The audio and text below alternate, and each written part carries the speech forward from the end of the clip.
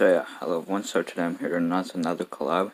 So, since my last collab video I did did so well, and some people, and like, decent, and like, like, some people entered it, and which was good. I like that people entered my collab.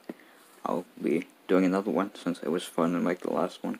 So, this is basically, this collab is basically a sequel to Dancing Bert collab, since I can't think of anything else to do, and since I thought it was nice. I figured I thought it would be nice. So I'll be doing a sequel. Different dance moves probably I'll do. Yeah, but you have to wait and see till that. You have to wait and see that till that part of the video. So just like the last time, you can use any song you want to. Just like, just yeah.